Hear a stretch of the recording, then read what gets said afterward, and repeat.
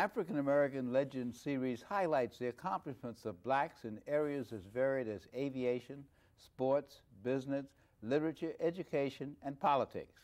We will explore how African Americans have succeeded in areas where they'd been previously excluded because of segregation, racism, and lack of opportunity. I'm your host, Dr. Roscoe C. Brown, Jr., and joining us to, on today's program is C. Virginia Fields, the borough president of the Great Borough of Manhattan. And Virginia, glad to have you with us on African American Legends.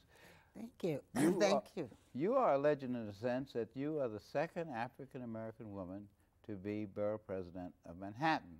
Tell us about the first and tell us about why you wanted so much to be borough president of Manhattan. Well, first of all, let me thank you, uh, Roscoe, for uh, the opportunity to join you. I think this is a very important way to talk about some of the past, present, and where we might be going in the future. The first woman to serve in this position, African American woman, of course, uh, was um, Constance uh, Baker Motley, Motley Baker. And she uh, now is uh, sitting as a federal um, judge here in the state. And uh, that's an important person to follow because of her legend. She uh, was very active mm. in the civil rights movement and worked very closely with Thurgood Marshall in terms of the desegregation of the schools and has an extensive record in civil rights. And she really paved the way. So it was very exciting for me to have her actually uh, do the installation for me back in January. And of course, while I'm the second African American woman, I think I'm about the fifth African American to hold that post, mm -hmm. uh, following Percy Sutton, David Dinkins, and Hulan Jack much earlier. So it's an important position for several um, reasons. One, as a borough president, and for um, cities who do not have a similar position, I guess the equivalent would be a county leader someone who is the county leader, county executive rather, uh, speaking on behalf of that county as relates to budgetary issues, services, being an advocate for getting that county what it needs by way of its government. So I'm a spokesperson on many issues of importance, education, economic development, housing, senior concerns, and certainly health care and at a time when we need uh, to have voices heard in the larger arena of city government here in New York City, being a spokesperson for the 1.5 million people who live here in Manhattan is a very important and really exciting role. It really is exciting, and of course we're very excited to have you as the borough president because it's a long tradition here. You talk about Hulan Jack, you talk about Percy Sutton, you talk about Connie Motley, you talk about David Dinkins, right. who went on to be mayor, we won't ask you about your aspirations there, but uh, we uh, have had a long tradition. Now, in terms of the geography of New York City, uh, I'm from the Bronx, as you know, I was president of Bronx Community College before I was at the Graduate Center here, and we are fond of saying the Bronx is the only part of New York City that's attached to the mainland. That's right. Because the rest of New York is an island. That's You've right. got uh, Manhattan, and we've got uh, Brooklyn and Queens, which are part of Long Island. You have Staten Island. But this very interesting structure where Manhattan, which is really New York County, which many people think is New York City, Times Square, Rockefeller Center, Harlem, mm -hmm. uh, which uh, you represented as a city council person, Wall Street, that's New York. And yet we know that of the 7.2 million people who live in New York, uh, a larger number live in Queens and Brooklyn, and just a few less in the Bronx, and a few less than that in Staten Island. So all of a sudden, here we have the, the key to New York City, Manhattan, New York County, with a leader, uh, the borough president, who's African American, and it goes back some 30 years. Uh, I think there was one white, your predecessor, Ruth Messinger, right. who was a borough president just before you. In but terms of women, right. In terms of women. Right. And so we, we have this role. The borough president used to be even more important in terms of the budgetary aspect because we had this unique thing called the Board of Estimate, right. where the mayor and the city council president, the borough presidents voted on everything from land to taxes to allocation of resources. Mm -hmm. And because of the uh, charter revision, the borough president lost some of th those budgetary powers, but picked up some other powers. So could you talk about how in charter revision, even though it took away some of those budgetary powers, how it in a sense enlarged some of the powers of the borough president? And I, I think that's a very important point because um, the role of the borough president often gets discussed in terms of having lost some of the powers uh, as a result of the elimination of the Board of Estimate. And I guess that's true to a certain extent because budgets were basically decided upon by the mayor and the borough president. Having been a member of the city council for the past eight years, where we now share in that um, uh, role with a mayor, uh, I've experienced it on that side. Now, moving to the office of borough president, where I never experienced the board of estimate, it's not a loss at all for me, but really an opportunity to expand on the areas that are uh, the responsibility under the charter as land use. A borough president has the responsibility for making land use um, decisions in their borough. And in Manhattan, that is extremely important because, as you said, Manhattan is a part of the five boroughs, but most people think of New York City being Manhattan. The tall buildings, uh, the institutions, our cultural institutions, Wall Street, the financial center, all that New York City. And Harlem. And Harlem, absolutely. Um, all that New York City has to offer in terms of people coming to visit New York, and that's good. But we also have communities where we live. We live on those blocks, so we don't want overdevelopment. We want to make sure that we have uh, adequate resources, our schools, uh, transportation, so that as development moves forward, a borough president is very concerned about how the residents live in this borough. So our voice on land use issues is an extremely important one.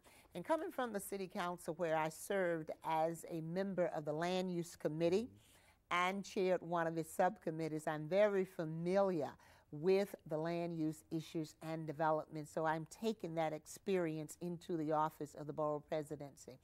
We also are uh, involved in terms of economic development. Borough president every three or four years has to submit a report on the economic development growth and issues within their borough. Now that is extremely important because again, Manhattan being the center for so much of the energy and the engine that drives the region, we still have neighborhoods throughout Manhattan, Lower East Side, Harlem, Washington Heights, East Harlem, parts of the West Side that have not received the kind of attention in terms of opportunities for economic growth that I think exists there.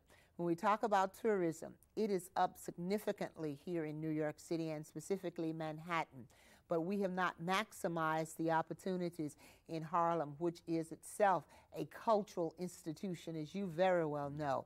To be able to attract tourism into northern Manhattan, not only does it allow for people visiting the city to experience the richness of what the heritage and the culture that exists in Harlem, Washington Heights, and East Harlem, but it brings money into those communities tourist tourism is booming in this city. So we're looking at ways to promote that in northern Manhattan.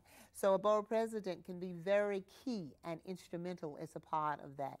Education, borough president appoints a member to the Central Board of Education. We have a seven-member board, and there are five borough presidents. Each borough president makes an appointment of one person, and the mayor makes an appointment of two. And they decide policy and issues related to the education of our children.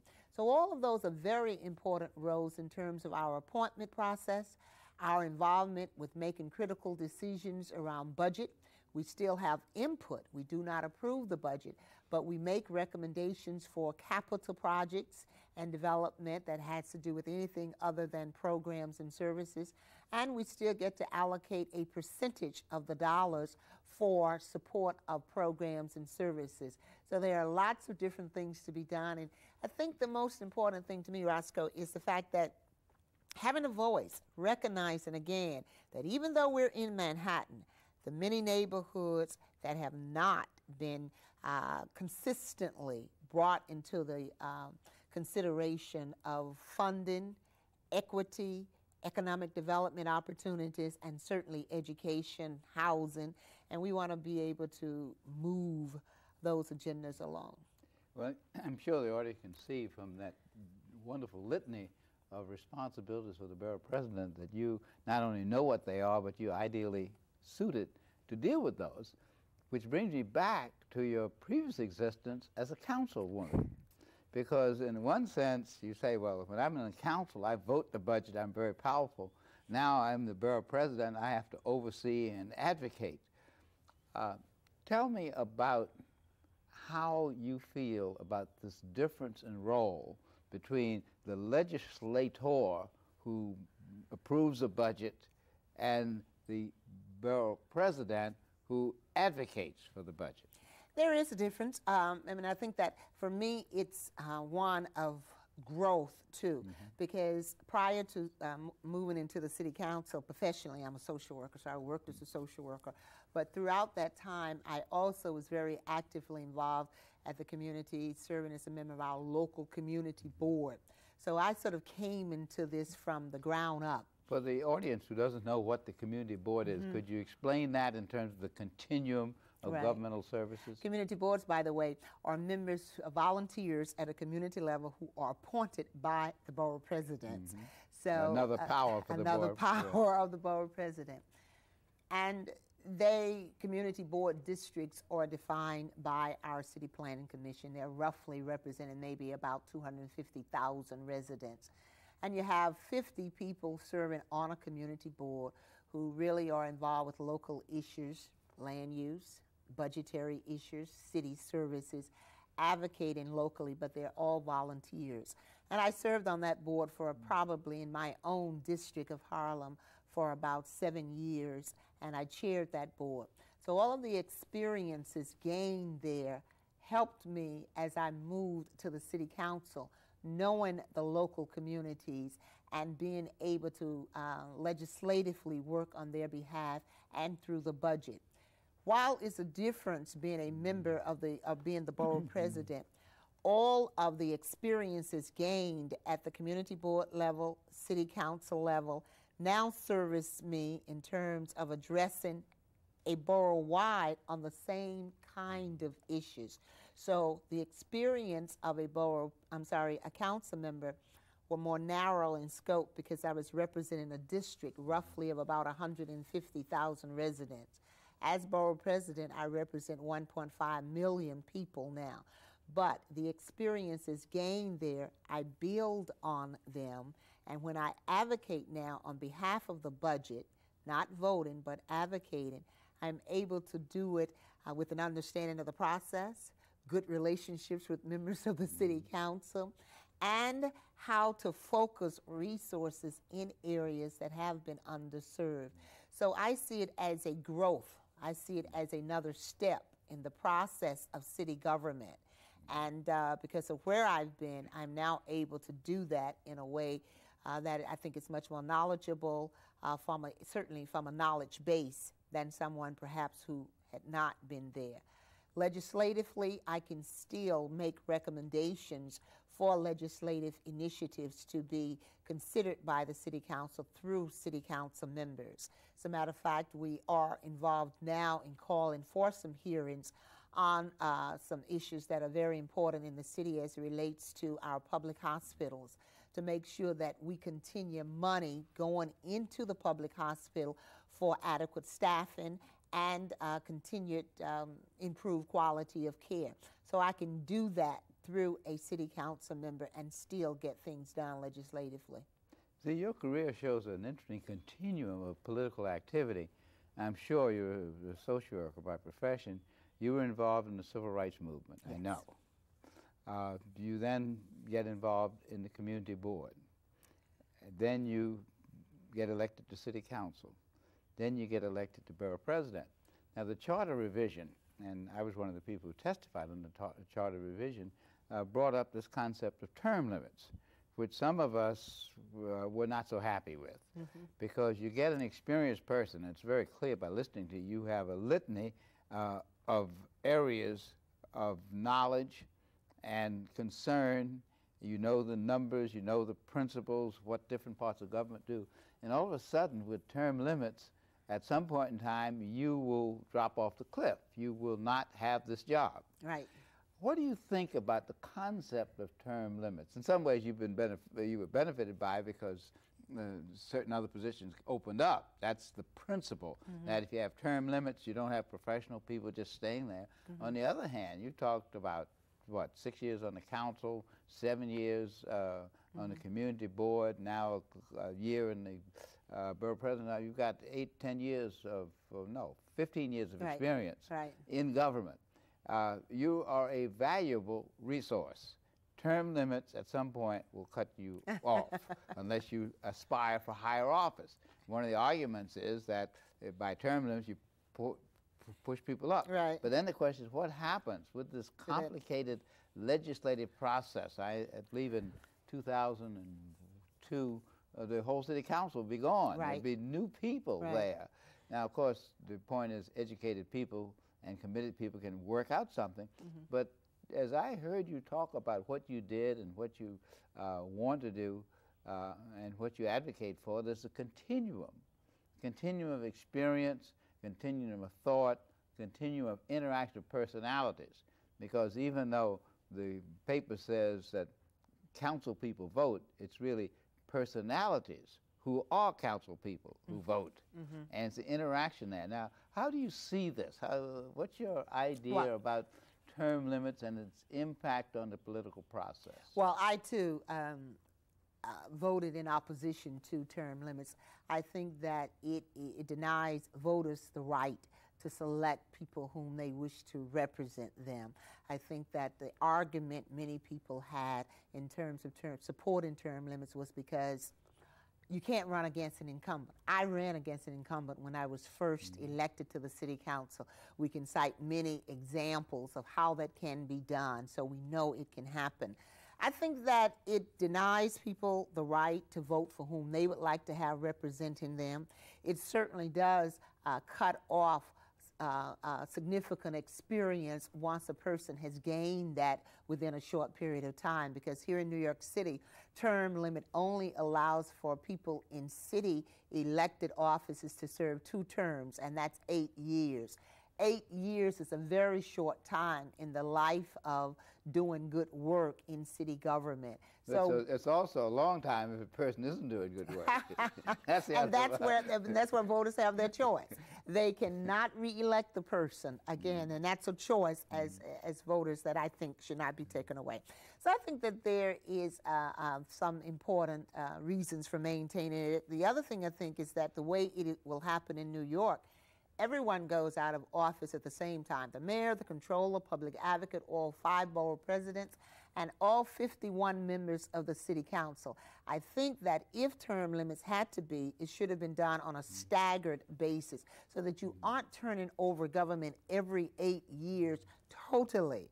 I think that it leaves room only for the permanent staff, and there are many permanent staff in government, and quite frankly, um, lobbyists, people who know, have relationships with people, to have much more control and input into decisions than people who were elected to have. The other thing I think that's going to be impacted unless we make changes in our city charter is that you're elected, you start serving your term the first of any given year. That is the same time when we're coming in in the middle of our fiscal year. Our fiscal year in New York, as you know, is July 1st through June 30th. So anyone coming in in the middle of the fiscal year, January, has now got to try to put together a budget real quick in order for approval by the end of June. Unlike the state, we must, by charter, uh, pass a budget by June 30th. Otherwise, the Emergency Control Board, the Financial Control Board takes over. So there's some related charter mandated responsibilities that I think must be discussed and perhaps changed as a result of term limits, budget stuff, and other kinds of things that are required of a mayor and a city council at the very beginning of their term. So I think it could be very disruptive. I'd like to see it revised again. only to do staggered if the, it is the voters' choice to have term limits, which I don't support, but voters have said, voters have spoken, I accept it, but in a staggered manner rather than the way it will get unfold. I understand that some hearings are currently underway in the City Council about making some revisions uh, in terms of staggering terms and maybe altering the uh, time at which the uh, elected officers take hold. Mm -hmm. the question that comes to my mind is, you recall, this was uh, term limits was promoted by a uh, person by the name of Ron Lauder. Right. And oh, we spent over a, over a million dollars to get this across. And I yeah. don't really believe that the majority of the public totally understood the ramifications. They understood throw out the rascals. Right. That there's some people have been there too long. But my argument has always been you have term limits every election day. Exactly. You can vote out the person. Of course, the counter argument is that someone's in power can manipulate the situation. Um, staggered terms certainly will uh, uh, help to alleviate the problem of having everybody leave at the same time. It's an interesting issue. But let's turn to another issue which I know you're really interested in. That is an involvement of young African Americans in the elective political process. Going back 30 or 40 years ago, many young African Americans, whether they be lawyers or teachers or social workers or doctors, accountants or, or manufacturing people, avoided politics because they said there's not much we can gain from it. Right.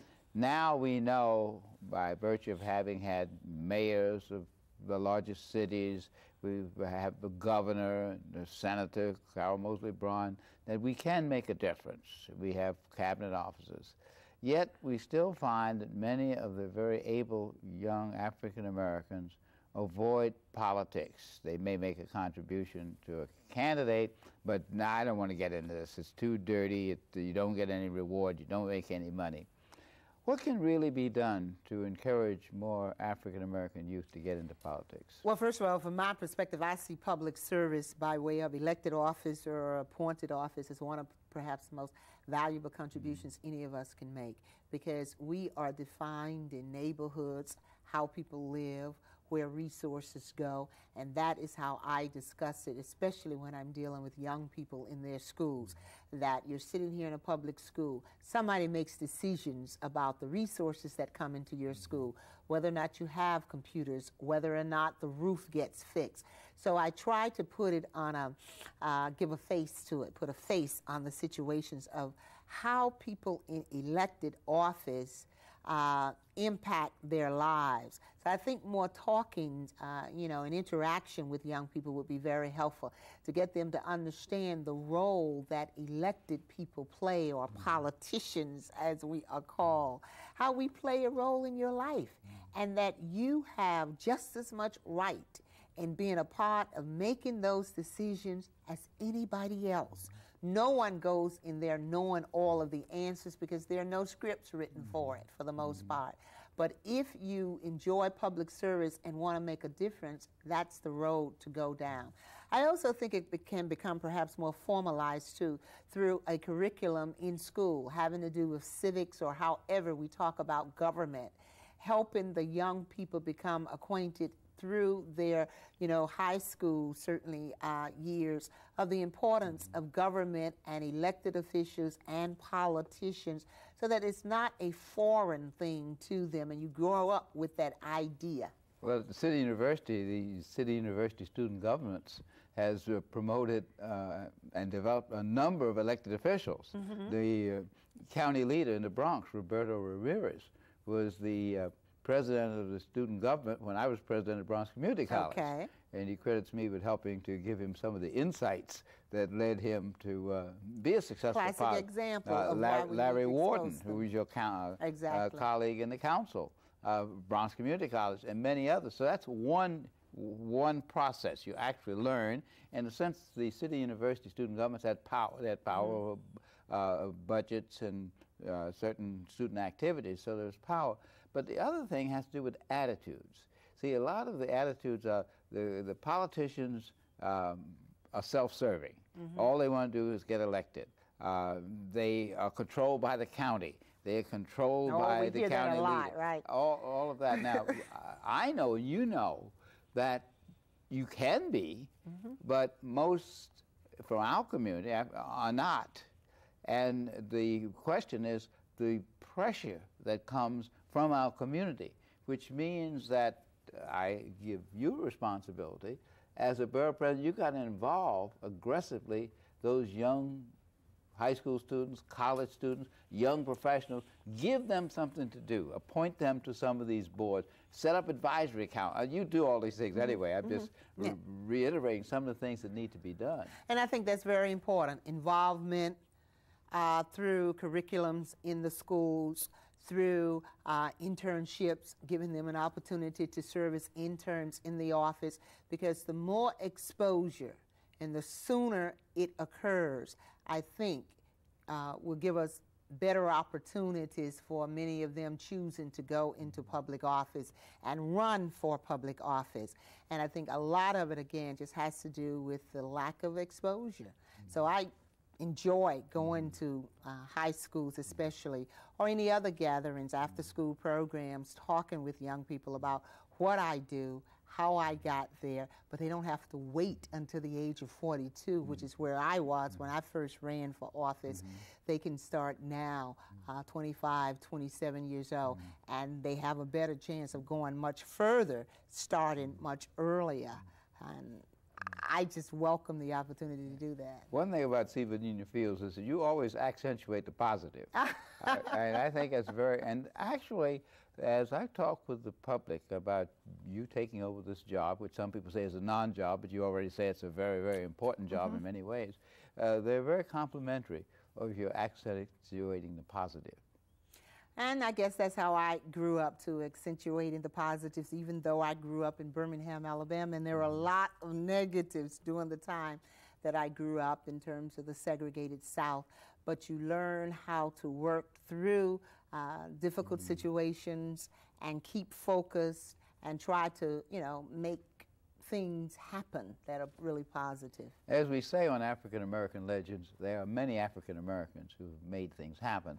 And our guest today, uh, C. Virginia, Vi- whoops, C. Virginia Fields. See, it's easy to say. C. Virginia Fields, the borough president of Manhattan, has made things happen, and she does tend to accentuate the positive. Thanks very much for being with us Thank today. Thank you so much, Roscoe. My pleasure.